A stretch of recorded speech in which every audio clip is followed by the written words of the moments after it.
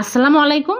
আজকে আমি ফুটন্ত দুধের মধ্যে মুড়ি দিয়ে অনেক টেস্টি একটা রেসিপি করে দেখাবো। সম্পূর্ণ ইউনিক এই রেসিপি খেতে হবে দুর্দান্ত স্বাদের।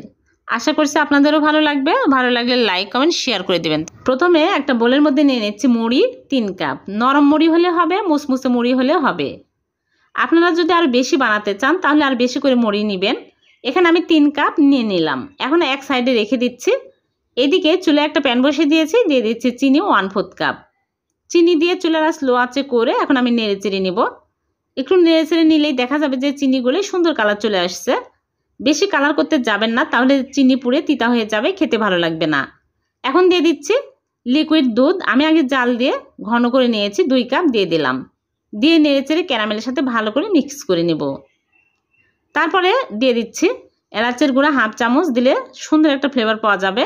আর মুড়ি দিয়ে দিচ্ছি। মুড়ি সবগুলো দিয়ে দিলাম, দিয়ে এখন নেড়ে চেড়ে নিব। তারপরে দিয়ে দিচ্ছি সুজি তিন চামচ। সুজি দিয়ে চুলার স্লো আঁচে করে অনবরত নেড়ে চেড়ে নিতে হবে, তাছাড়া কিন্তু দলা পেকে যাবে। অনবরত নেড়ে ঘন করে নিব, তারপরে চুলাটা আমি অফ করে দিলাম, দিয়ে ঢেকে রাখব পাঁচ মিনিট। পাঁচ মিনিটে মুড়ি একদম সফট হয়ে যাবে। পাঁচ মিনিট পর ফিরে আসলাম। এখন আমি ভালো করে ম্যাশ করে নিব এইরকম করে।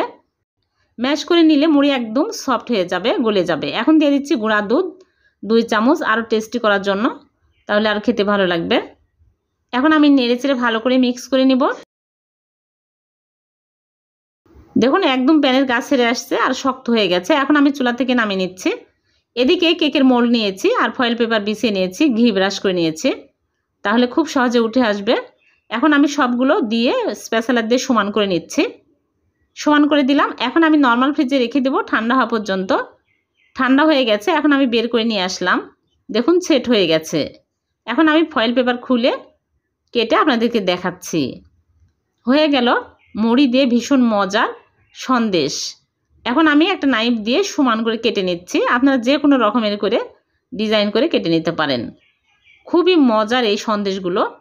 বাড়িতে অনেক সময় মুড়ি নষ্ট হয়ে যায়, কিন্তু নষ্ট মুড়ি ফেলে না দিয়ে আমরা যদি এইরকম করে মজা করে সন্দেশ বানাতে পারি, তাহলে সবাই অনেক পছন্দ করবে, সবাই মজা করে খাবে।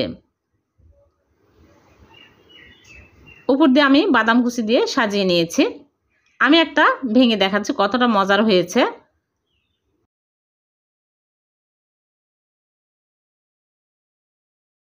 একবার হলো বাড়িতে ট্রাই করে দেখবেন অনেক মজার হয়। আর ভালো লাগলে লাইক কমেন্ট শেয়ার করে দেবেন। আর এইরকম সহজ নতুন নতুন রেসিপি পেতে চ্যানেলটিকে সাবস্ক্রাইব করে চ্যানেলের সাথে থাকবেন। পেজ থেকে দেখে থাকলে পেজটিকে ফলো দিয়ে রাখবেন। আবারও দেখা হবে নতুন কোনো রেসিপিতে আল্লাহ হাফেজ।